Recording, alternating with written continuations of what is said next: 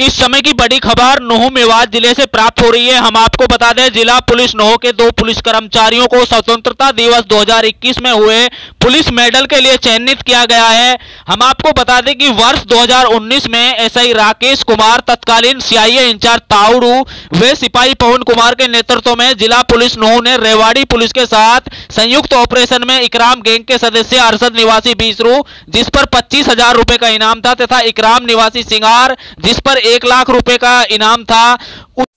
इसके अतिरिक्त पुलिस मुठभेड़ के बाद पुलिस ने पकड़ने में सफलता प्राप्त की थी। पुलिस ने इस गिरोह से छह पिस्टल वे कट्टे तथा 80 ज़िंदा रोज बरामद किए थे।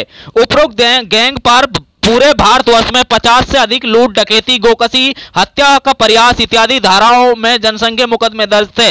पुलिस की इस कार्यवाही के दौरान अरसद बदमाश की मौके पर ही इनकाउंटर में मौत हो गई थी। इस बहादुर व सहायक कार्य के लिए दोनों उपरोक्त कर्मचारियों को माननीय प्रधानमंत्री भारत सरकार की तरफ़ से पुलिस मेडल के लिए चुना गया है।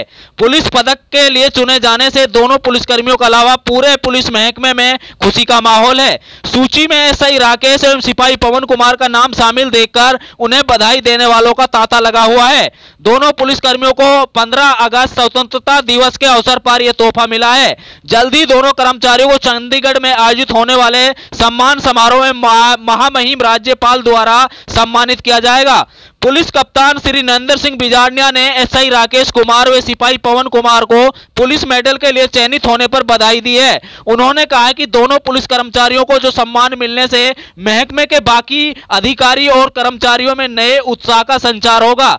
एसपी नूह ने कहा कि पुलिस कर्मचारियों को अपनी ड्यूटी पूरी मुस्तैदी के साथ करनी चाहिए, ताकि जनता में पुलिस के प्रति भावना पैदा हो और अपराधियों को जेल के सलाखों के पीछे भेजा जा सके।